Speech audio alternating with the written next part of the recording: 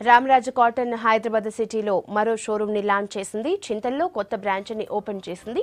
South ఇండియాలో ఇప్పటికే వంద షోరూమ్స్ ఉండగా తెలంగాణలో పదిహేను ఉన్నాయని షోరూమ్ మేనేజర్ తెలిపారు. భారతీయ సంస్కృతిని విదేశాలకు పరిచయం చేయడానికి విదేశాల్లో కూడా తమ ఉత్పత్తులను అమ్ముతున్నామని సంస్థ ప్రతినిధులు తెలిపారు. పంతొమ్మిది వందల ఎనభై మూడులో ప్రారంభించబడ్డది. సంస్థ ఎండి నాగరాజు గారు ప్రతి ఒక్కటి యాన్ నుంచి మ్యానుఫ్యాక్చరింగ్ వరకు అన్ని వాళ్ళ ఇన్ హౌస్లో ప్రత్యేక శ్రద్ధతోటి మనుఫ్యాక్చరింగ్ చేసి ఇండియన్ ట్రెడిషనల్ సాంప్రదాయాన్ని భారతదేశంలో యావత్ ప్రపంచంలో నిలపాలని వారి వారి ప్రథమ ఉద్దేశము. వేరే ఇతర బ్రాండ్లు ఇతర దేశాలలో బ్రాండ్లు ఇక్కడ విక్రయిస్తున్నారు.